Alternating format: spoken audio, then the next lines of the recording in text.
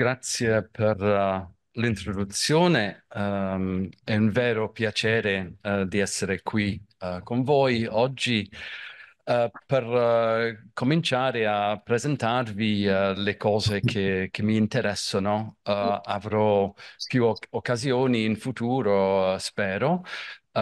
quindi oggi sarà una breve introduzione su alcuni elementi soltanto per non uh, prendere troppo tempo.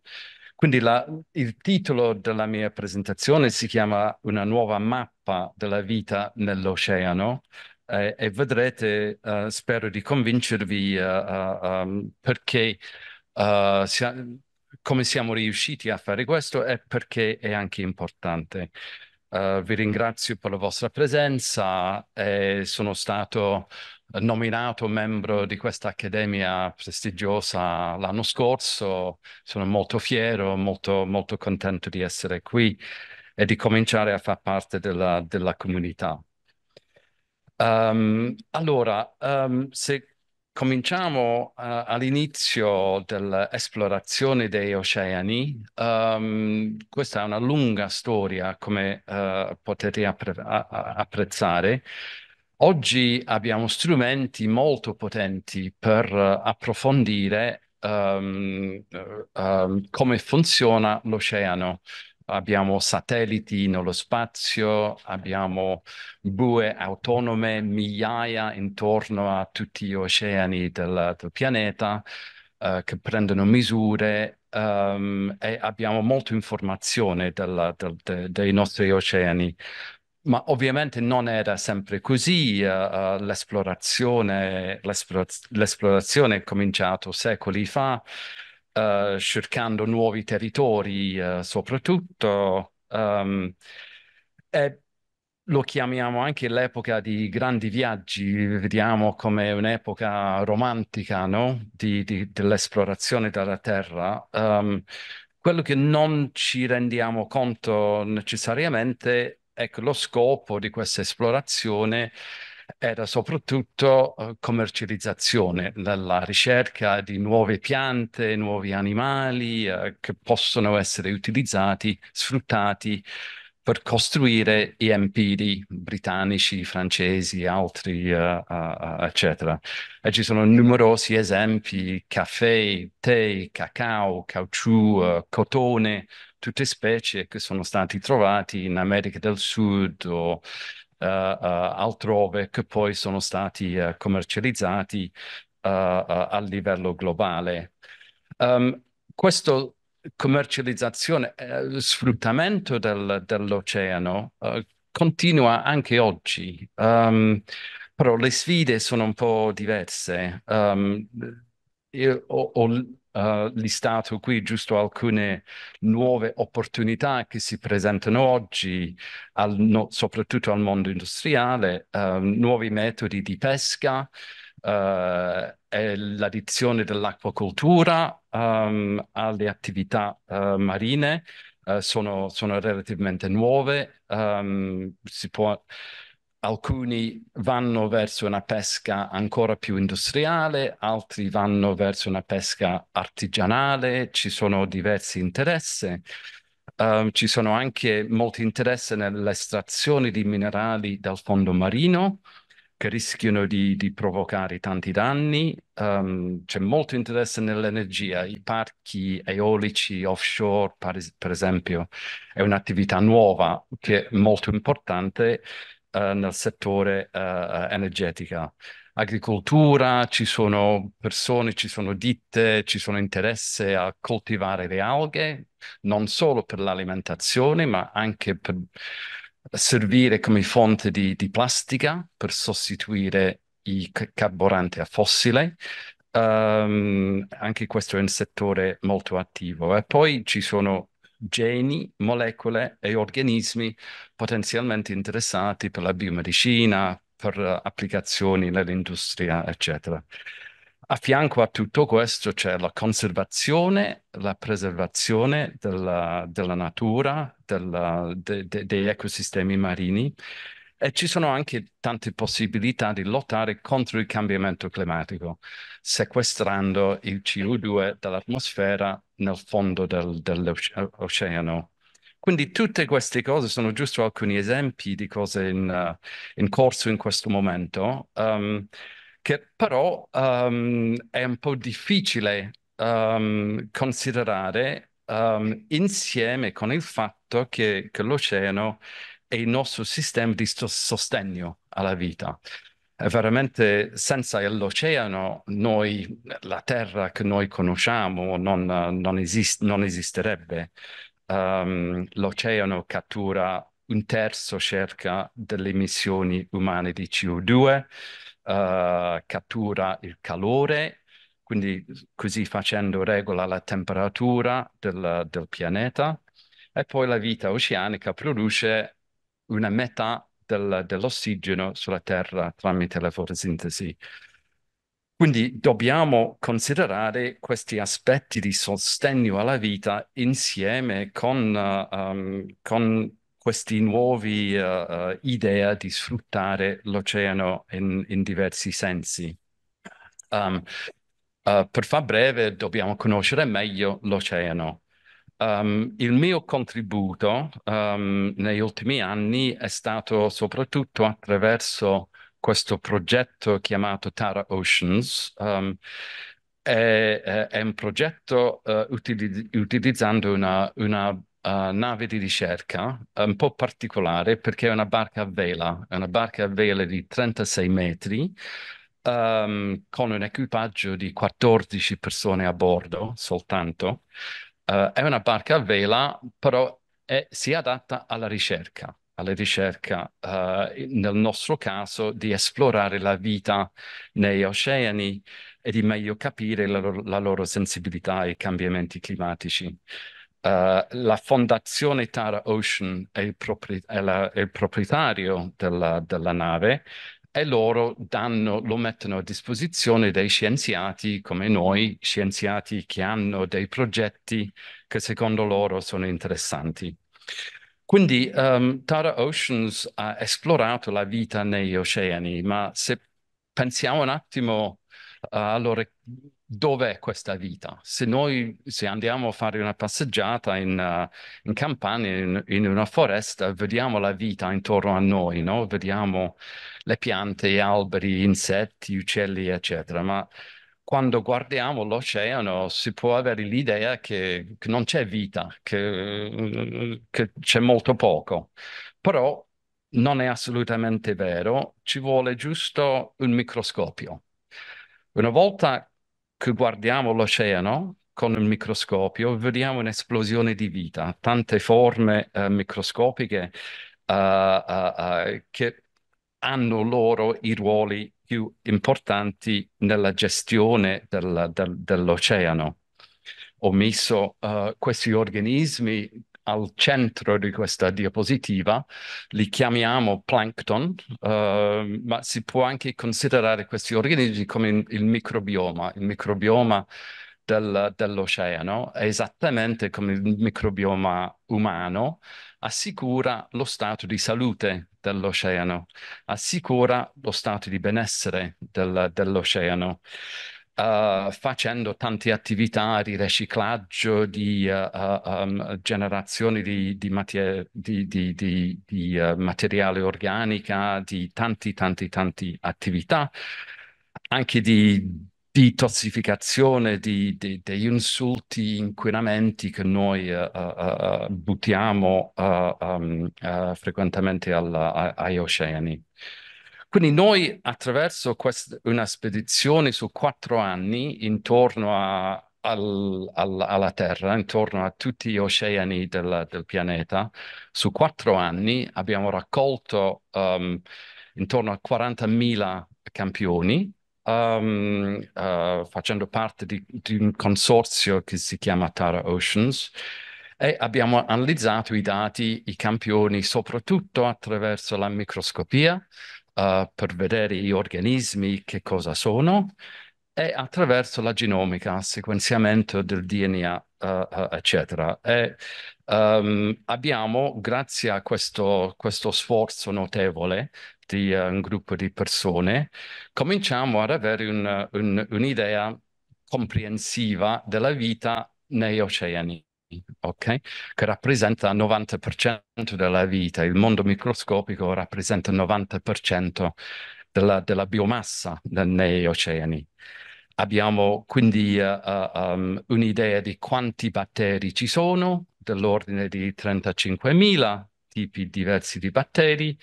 Uh, abbiamo una cifra intorno a 50 milioni del numero di geni presenti in questi organismi.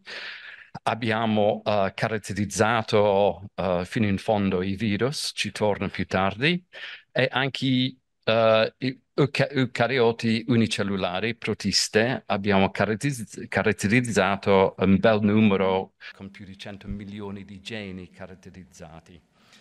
Um, quindi attraverso questo sforzo abbiamo pubblicato uh, uh, molti, molti paper noi, e essendo open access, accessibile a tutti, um, uh, siamo, abbiamo anche avuto una certa noti not notorietà uh, a livello internazionale. Questo per esempio è un editorial um, che è apparso su Nature l'anno scorso, circa un anno fa, che, che, parla di quello che abbiamo fatto in vent'anni, quello che ha fatto la, la, la Tara, uh, la nave, uh, su vent'anni di esplorazione, quindi questa chiaramente è una bella soddisfazione. Um, e, essendo poi un, uh, una, uh, um, una, banca dati molto comprensivo a livello globale, accessibile a tutti, molte persone l'hanno usato. oggi ci sono più di mille articoli uh, che utilizzano questi dati e sulla base di ciò penso che possiamo dire che finalmente per la prima volta abbiamo una specie di punto zero dello stato dei oceani planetari uh, all'inizio del ventunesimo secolo. Non, è, non abbiamo mai avuto questo prima. E quindi eh, questo ci apre tante possibilità per uh, vedere come l'oceano è cambiato rispetto al passato e come cambierà in futuro uh, rispetto, a, rispetto, a, adesso. Uh, quindi possiamo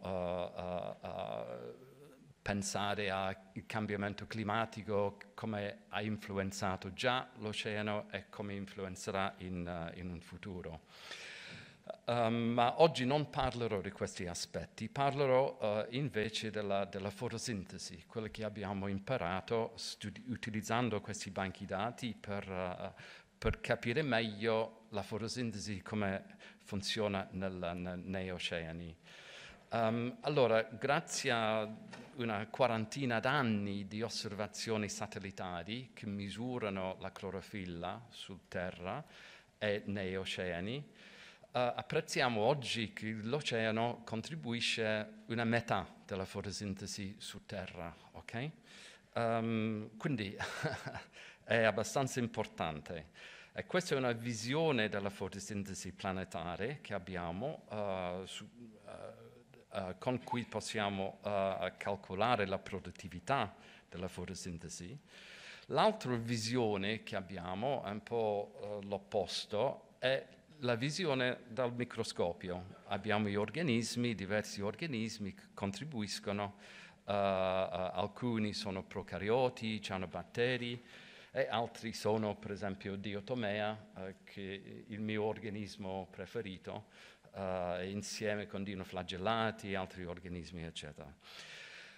Allora, quello che noi abbiamo fatto per capire meglio chi fa cosa e dove per quanto riguarda la fotosintesi, abbiamo cercato di mettere insieme uh, diversi tipi di informazione. Una cosa che abbiamo fatto è di, di, di, di, mettere a punto un gene marcatore per tutti gli organismi fotosintetici. Um, uh, si chiama PSPO, è un gene copia singola, tipicamente in tutti gli organismi, batteri e eucarioti. Quindi con questo gene, quando, con la quantificazione di questo gene possiamo vedere uh, quali sono gli organismi presenti in diversi, uh, in diversi luoghi.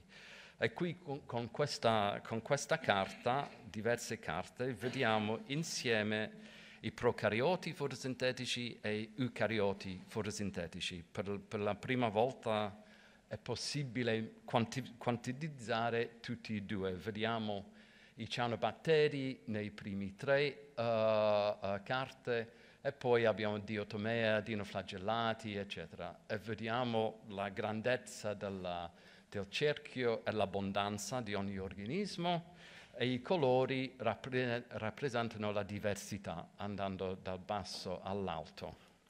Quindi questa è la prima volta che riusciamo a, ad avere carte del genere. Um, e perché in Tara Oceans abbiamo fatto frazionamento per taglia degli organismi, possiamo uh, eventualmente arrivare a sapere uh, abbondanza, rela- abbondanza relativa di tutti i diversi organismi e anche biomassa. Quindi questo ci dice quanto carbonio veramente entra in questi diversi organismi in diversi luoghi um, dando un'idea del, dell'attività fotosintetica uh, basata su questo gene. Però poi possiamo anche andare oltre, uh, collegando questa informazione molecolare dai geni, uh, microscopia, eccetera, con le, le informazioni satellitari. Uh, um, degli ultimi 40 anni di, di, di studi uh, um, da, da, da, dai satelliti.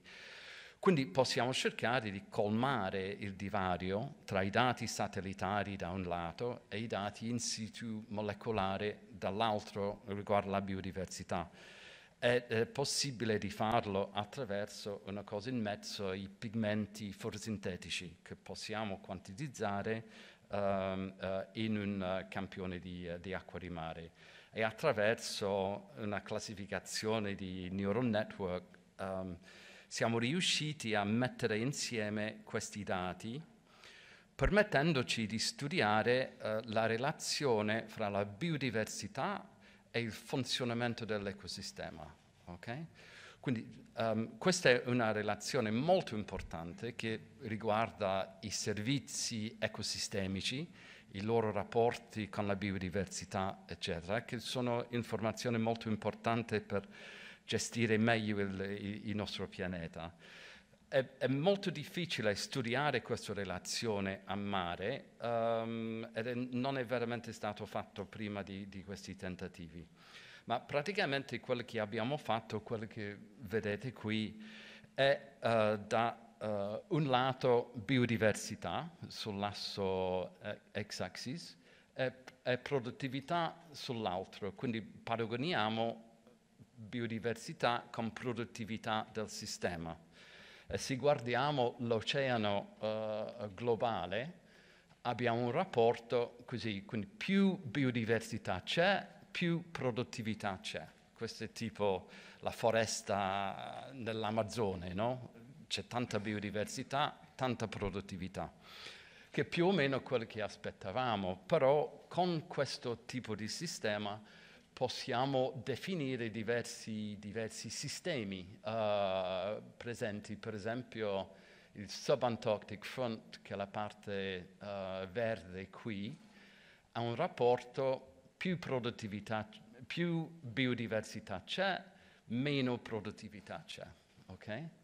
Nell'Antartide, la parte gialla, abbiamo un, un rapporto binomiale con una, un, un'ottima uh, di biodiversità, un tasso ottimale di biodiversità dove la produttività è, uh, uh, è il più alto e poi scende dai due lati. E poi nell'equatore, la parte blu, vediamo uh, un altro rapporto fra biodiversità e produttività. Quindi così facendo riusciamo a meglio capire il CO2 dell'atmosfera, dove va nell'oceano, quali organismi e dove, uh, dove va, con quale rapporto, eccetera. Quindi ritengo che questa è un'informazione import- importante uh, per il futuro, per capire meglio uh, il funzionamento del nostro oceano per, qua- per quanto riguarda la fotosintesi. Non, uh, non finisce là, perché abbiamo anche, anche, scoperto che anche i virus partecipano um, nel tempo che rimane, qualche minuto forse, Uh, volevo parlare un po' de- dei virus uh, nel, nell'oceano perché sono veramente impressionanti le cose che abbiamo, uh, abbiamo trovato. abbiamo trovato per esempio i virus che hanno um, acquisiti geni della fotosintesi nei loro genomi. Okay? Questo sembra folle, no? Un virus che tipicamente ha un genoma molto piccolo uh, uh, all'interiore di questi genomi, molto, frequen- molto uh, frequentemente troviamo geni per la fotosintesi, PSPA, F, eccetera. Okay? A fianco geni strutturali, funzionali dei virus. quindi questo ci ha in- incuriosito molto, è stato scoperto più di vent'anni fa questo, questo fatto.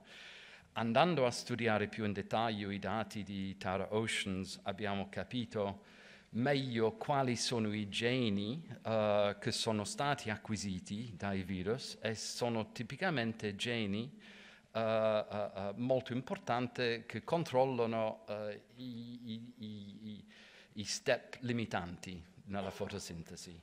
Okay? Quindi in questa maniera si pensa che i virus invece di utilizzare i, i, i, componenti della fotosintesi dei loro ospiti che stanno infettando, producono loro queste proteine e invece di produrre uh, altri batteri producono più virus. Uh, veramente una forbezza che vediamo con questi virus uh, impressionante.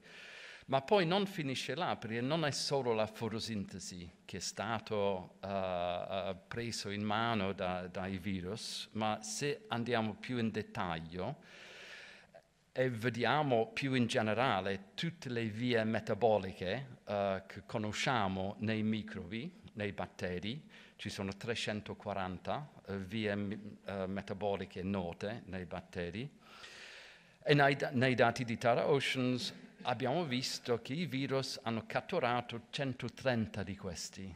Quindi veramente una, uh, um, uh, è un'informazione molto notevole che, che dice che uh, i virus sono là non solo per fare infezioni, per contribuire alla patogenesi, eccetera, ma anche in tanti, anti, tanti, tanti altri ruoli. Um, quindi uh, uh, penso i virus veramente ci hanno aperto gli occhi a quanto poco conoscevamo sulla biologia de- degli oceani e i, i virus in generale. Um, abbiamo finora rivelato un numero senza precedenti di virus oceanici, uh, tra cui fila completamente nuovi, nuove fila di, uh, di, di, di virus. Uh, abbiamo scoperto fagi giganti, ci sono tanti virus giganti anche. Um, abbiamo visto che partecipano ai pro- processi biogeochimici, biogeochimici come, come la fotosintesi trasferimento genico, coevoluzione virus ospite, con questo esempio della, della geni per la fotosintesi, uh, uh, mostra insomma, che questo è un tema importante. E poi non ho mostrato i dati, ma uh, i geni presenti nei virus giganti forniscono indizi sull'origine dei componenti cellulari di base. Abbiamo virus che contengono tubulin, actin, uh, geni di questo tipo che sono alla base della struttura del, di una cellula eucariotica e si pensa che l'origine di questi geni forse sono i virus o almeno i virus hanno partecipato. Quindi uh, per, per, concludere questa breve presentazione uh, ho cercato di mostrarvi che, che, il nostro approccio, che è un approccio di biologia dei sistemi, systems per capire l'insieme del sistema, eh, che ha fatto luce su un complesso ecosistema invisibile, su scala globale. Uh, sono state fatte molte nuove scoperte sulla vita nei oceani, al di là di quello che abbiamo scoperto noi, um, insieme con una grande quantità di risorse ad accesso libero che tutti possono uh, usufruire. E infine questo uh, uh, banca dati fornisce una specie di punto zero uh, dello stato dell'oceano globale all'inizio del XXI secolo, che possiamo utilizzare per meglio comprendere processi importanti come la fotosintesi che vi ho mostrato e anche per studiare gli effetti dei cambiamenti climatici sugli ecosistemi marini, che vi racconterò in altre occasioni sicuramente. Uh, quindi io mi fermo là, uh, ringrazio um, uh, i finanziatori della parte spedizione di questo progetto in basso che hanno finanziato la, la barca, fare il viaggio intorno al mondo, i finanziatori della ricerca, ops, um, finanziatori della ricerca e poi il consorzio Tara Oceans che comprende anche la stazione zoologica di Napoli. Allora grazie a loro e grazie a voi per la vostra attenzione. E, e noi ringraziamo te per la presentazione, avendoci fatto vedere come l'oggetto dei tuoi studi è tanto importante per tutti noi. Però adesso ascolterai qualche eh, domanda, vuoi, no? Sì, come no. Allora, eh, sentite, io ci vedo poco, eh, eh però riconosco sì. Paola, eh, Paola. che nell'ordine, poi, poi, Roberto, li sto vedendo, sì, mentre giù in fondo... Grazie Chris per questa bellissima presentazione, veramente fantastica.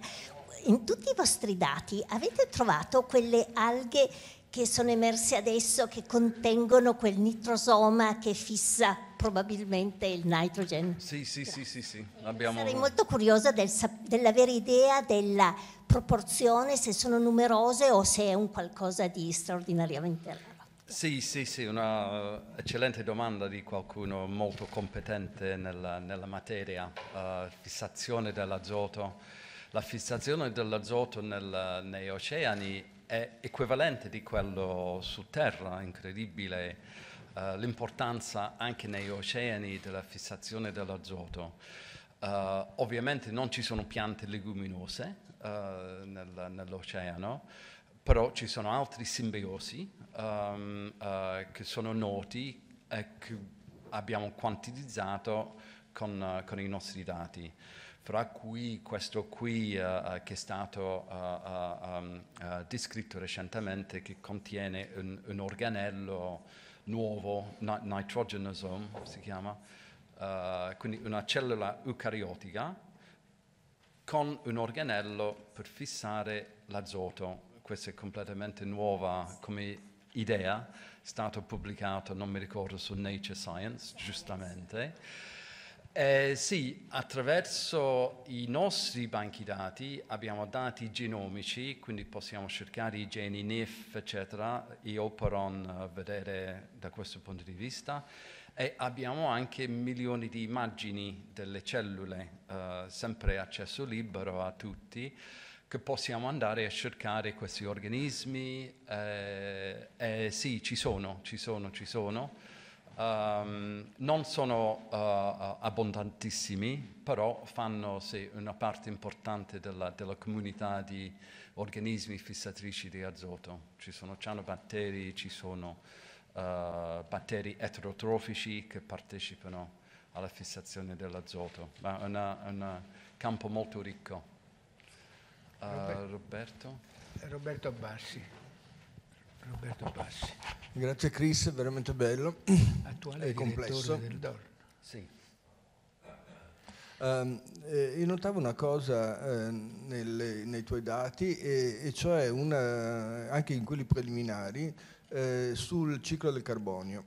Mm-hmm. Allora, eh, il ciclo del carbonio eh, sulla Terra è abbastanza ben definito e ha a che fare con i rapporti fra respirazione e fotosintesi. Ehm, e, e, mi pare però che nell'oceano ci sia una notevole differenza fra la percentuale eh, di ossigeno che viene prodotto nel mare e la percentuale di anidride carbonica che viene fissata. Uh-huh. Eh, non sono molto equivalenti e mi chiedevo se tu avessi delle idee per eh, capire questa differenza. Sì, è molto curioso se ho, ho detto che l'oceano contribuisce al 50% della fotosintesi su Terra, questo è un dato abbastanza certo direi, uh, però se andiamo a vedere la biomassa, la terra è verde, sono piante dappertutto, ma l'oceano non, non si vede, uh, non vediamo gli organismi fotosintetici. Da un lato sì, ok, sono microscopici, sono alghe unicellulari, uh, che spiega parzialmente la differenza, e poi c'è anche un, un funzionamento uh, opposto della struttura della, della, della, um, uh, della catena alimentare. Su Terra abbiamo una piramide con le piante, i, i primary producers alla base, e poi man mano saliamo, le tigre, leoni, eccetera, all'apice, sono in pochi. Okay? Questo è il piramide classico di... Uh, di una rete alimentare. Nell'oceano è l'opposto, ok?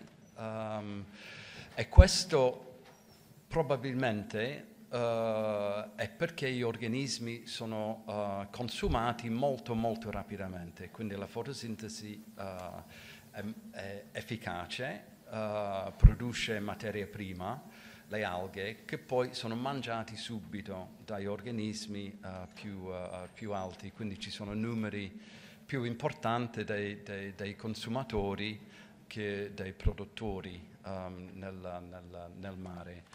E questo penso spiega un po' uh, um, um, dove, per, perché ci sono queste differenze e dobbiamo chiaramente uh, prendere queste informazioni in considerazione per, uh, per avere un'idea di dov'è il carbonio nel sistema, perché senza questa informazione non possiamo capire uh, l'impatto del, dell'aumento di CO2 nell'atmosfera uh, sul, sulla biodiversità, eccetera. Quindi c'è varie cose. E poi c'è la respirazione, ovviamente, che che gioca anche là un ruolo importante anche nei consumatori della, produ- della produzione primaria. Certamente, va bene. Adesso c'è Scaffino. Ah. Eh, grazie Chris per questa bellissima presentazione. Eh. Eh, ti volevo chiedere questo, facendo misure ripetute di genomica dei vari geni, dei vari genus di batteri che hai, si può stabilire eh, l'impatto relativo sull'evoluzione batterica del trasferimento laterale rispetto ai meccanismi chimici più classici come le mutazioni singole, eccetera, o delezioni, inserimenti? Uh, è difficile di dare una risposta netta, chiara uh, a questa domanda um, perché è difficile um, arrivare a una quantificazione di trasferimento genico, eccetera. Um, uh, è molto frequente il trasferimento dei geni, acquisizioni di geni da uno all'altro, certamente è molto frequente uh, e l'oceano, essendo liquido, favorisce uh, sicuramente il trasferimento gene- ge- di materiale genetico. I virus contribuiscono, i trasposoni contribuiscono, um, uh, abbiamo trovato vescicole nell'oceano dei trasposoni, per esempio ci sono trasposoni particolari che, che sono ricoperti in una membrana che poi uh, passano, passano da, da, da alcuni batteri a altri. Quindi c'è un, una base molto um, importante per il trasferimento di materiale genetico. Um, è il fatto che abbiamo popolazioni di organismi molto importanti, uh, vuol dire che non è solo sing- la singola cellula che è importante, ma è il contesto della popolazione che conta molto. Um, e, eh, ci sono uh, indizi suggerendo che que- alcuni di questi organismi hanno meccanismi di, di mantenere una diversità genetica um, anche se non fanno la riproduzione uh, sessuale frequentemente, dividono uh, mitoticamente la maggior parte degli organismi, ma nonostante ciò sono capaci di mantenere un tasso molto alto di diversità genetica a livello della popolazione. Quindi sono nuovi meccanismi da scoprire uh, che saranno molto interessanti da, da capire in un contesto ambientale a livello di una popolazione di organismi. Allora abbiamo Schiaffino che aveva, eh, e poi Bolognesi e poi, ok, e poi eh, Neri, eh, sì, ciao, e quindi eh, che, eh, poi dovremo chiudere, eh? quindi con questa triade è tutto talmente interessante che ci dispiace dover... Allora, allora io, io ho basi evolutive, però normalmente si dice che la vita è comparsa negli oceani uh-huh. e dopo si è trasferita sulla uh-huh. Terra. Uh-huh. Quindi non c'è un'origine di qualche forma di vita autoctona nella Terra, deriva tutta dagli oceani, giusto? Questa è l'ipotesi forse più, creduta in questo momento. Ora, sì. quando si pensa a questo evento così interessante, le persone ignoranti come me pensano ai pesci che perdono le pinne, prendono le zampe, perdono le branchie, prendono i polmoni. Ecco, andando invece più a fondo, sulla base anche dei nuovi dati, eh, eh, che, che, idea ti sei fatta? Quello che è successo. Si è perso moltissime forme di vita passando dagli oceani alla terra. Sì, sì, sì sicuramente. Uh, um, se consideriamo l'albero della vita uh, eucariotiche, uh, ci sono gli animali, okay? ci sono i funghi, ci sono le piante um, che apprezziamo uh, nel nostro mondo terrestre, ecosistema terrestre, um, però ci sono tante altre forme di, di vita eucariotiche uh, che conosciamo poco. Conosciamo alcuni perché sono parassiti dell'uomo, tripanosomi, leishmania, uh, paramecium, plasmodium, questi organismi che ci danno un po' fastidio.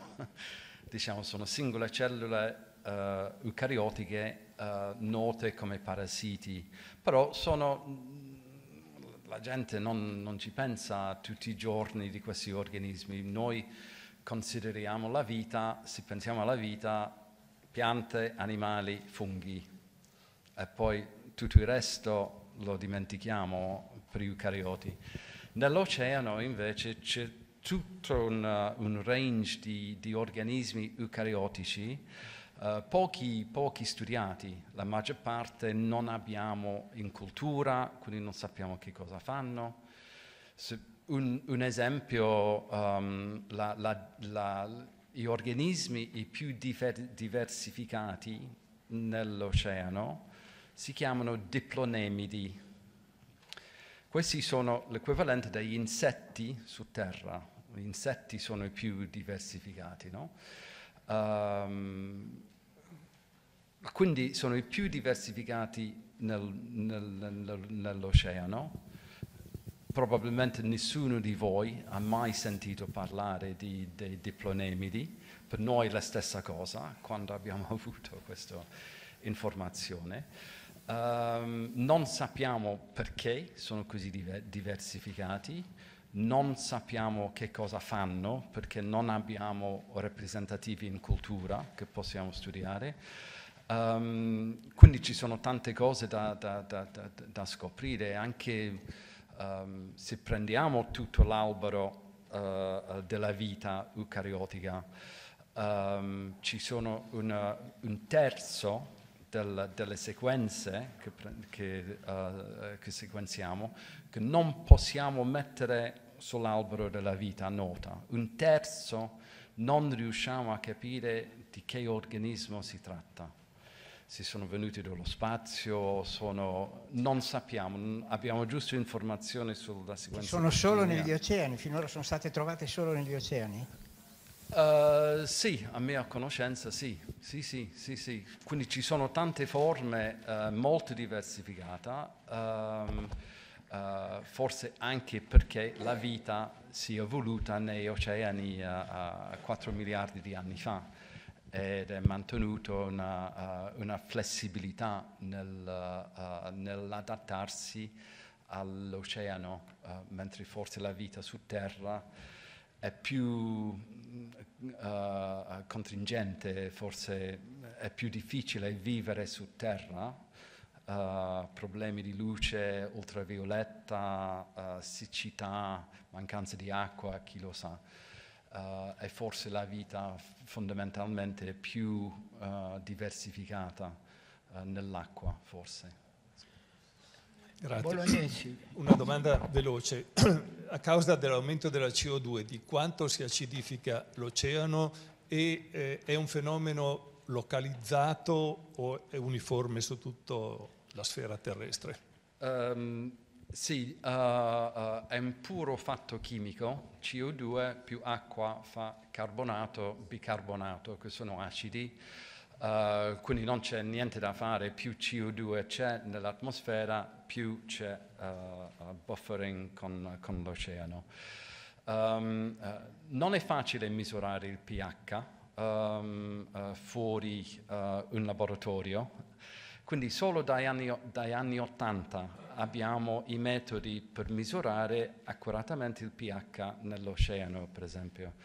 E abbiamo adesso diverse eh, sonde um, in tutti gli oceani del mondo che misurano il pH, l'acidità e l'alcalinità degli oceani. E dappertutto vediamo l'aumento, non c'è nessun dubbio, um, uh, uh, però alcune zone si, um, sono, uh, si stanno acidificando più velocemente degli altri per, uh, per, vari motivi, tipicamente fisico-chimici, uh, circolazione delle acque, eccetera, rapporto fra superficie e acqua profonda, eccetera. Però è un, è un fenomeno uh, globale dappertutto, però alcuni siti sono più suscettibili rispetto a altri. Bene, Grazie. tocca a Giancarlo Neri a concludere la serie di domande per te. Sì, grazie. Io ho una domanda un po' meno tecnica delle precedenti. In particolare vorrei chiedere se è stato possibile già eseguire delle stime scientificamente comunque significative, per esempio dell'impatto eh, degli agenti inquinanti, quindi non mi riferisco tanto all'influenza della CO2, ma proprio gli agenti inquinanti in senso stretto, eh, sulla, um, sul rate per esempio di decadimento di certe specie particolari. Eh, mi rendo conto che la domanda diciamo, non ha una grandissima levatura scientifica, però penso che sia importante anche come contributo eh, mediatico eh, da fornire, da offrire anche per la sensibilizzazione delle popolazioni. Sì, sì, sì, ottima domanda, la ringrazio. Eh, effettivamente l'inquinamento della Terra è un altro problema al di là del cambiamento climatico, CO2, metano, eccetera. La quantità di, di, di, di molecole sintetiche costruite da noi nell'ambiente è astronomico.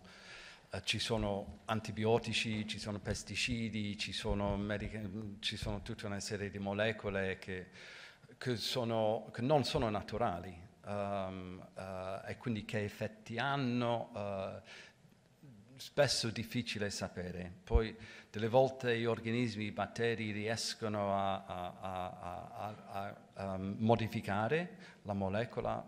Uh, um, quindi ci sono anche tutta una serie di, di molecole derivanti da, da, dai antibiotici eccetera che sono presenti nella, nella, nella, uh, nel, nell'ambiente.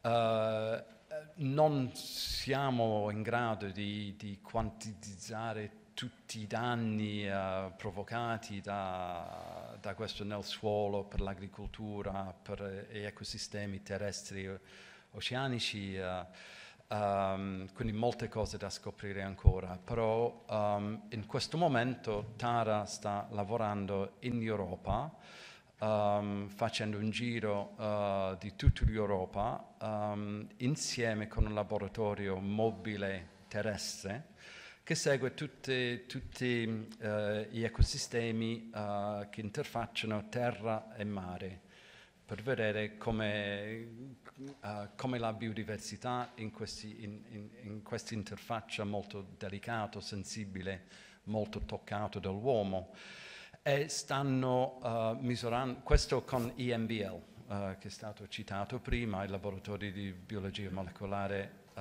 europeo, che ha costruito un laboratorio mobile um, che sta in un container che gira in tutta Europa con tara a mare e questo camion su terra e fanno campionamento di tutti e due gli ecosistemi. Um, eh, e la novità uh, un, un, ulteriore di questo progetto è che fanno anche analisi chimici. Um, IMBL ha la capacità di misurare uh, i spettrometri di massa, eccetera, uh, tutta una serie di molecole e quindi possiamo mettere uh, uh, insieme dati biologici sulla biodiversità dei microorganismi, quali geni sono attivi, eccetera, insieme con i dati chimici. E questo ci aiuterà, uh, speriamo, a definire uh, un, uh, un, indice di salute di un ecosistema basato su, sui inquinanti che sono presenti e i batteri, i microbi che, che stanno insieme. Questa è l'idea. Eh, Tara adesso sta a Napoli e gira in tutta l'Italia per continuare fino, a, fino in Grecia e sarà a Venezia uh, il, fra il 5 e il 10 giugno. Se qualcuno vuole visitare la barca, sarà a Venezia, inizi giugno.